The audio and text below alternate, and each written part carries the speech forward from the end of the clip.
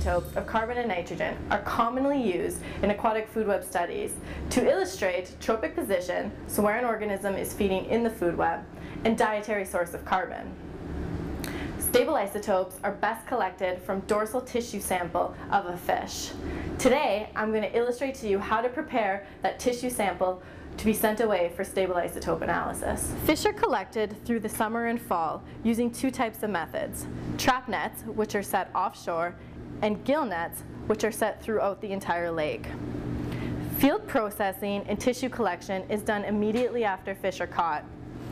Muscle tissue for stable isotope analysis is collected by removing a fillet of tissue from in front of the dorsal fin. All bones and scales are removed, so you are left with a pure tissue sample. It is important that samples are frozen immediately after collection. Once frozen, they are put into a freeze dry where low pressure and temperature draws moisture out of the tissue, dehydrating them.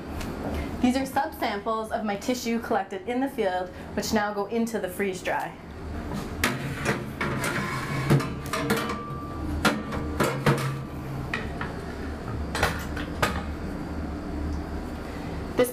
Takes a week. Now that the samples are dehydrated, they're ready for the grinding process.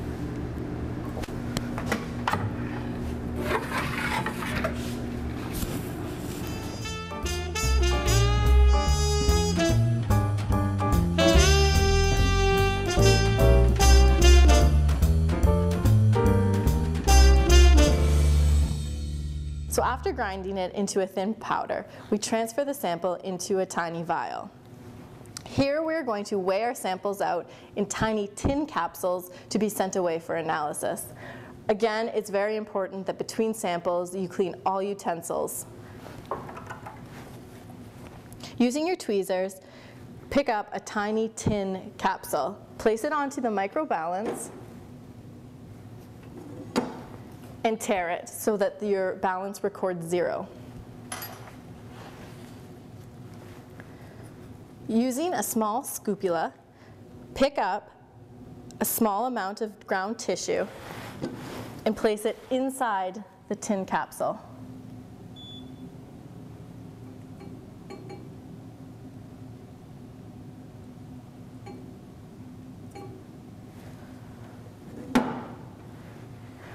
Here you're looking for a target weight of 0.5 milligrams to 1 milligrams of ground tissue.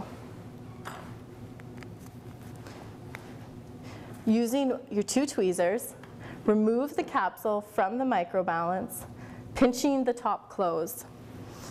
Now we fold down the top of the tin capsule like it was a paper bag, folding it down twice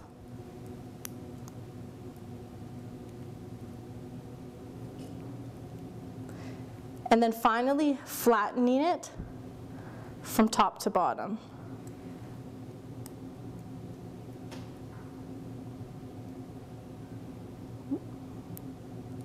Once flattened, the sample goes into the appropriate labeled spot in the submission tray,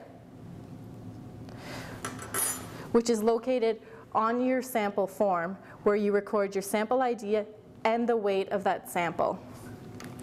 Here you use a flat probe pushing down the sample into the bottom of the tray.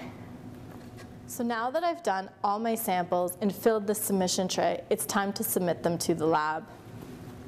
Once it's filled, I cover the lid securely and place it inside the box for shipment, along with the submission form where you've recorded the target weights of each um, capsule. And now it's ready to go.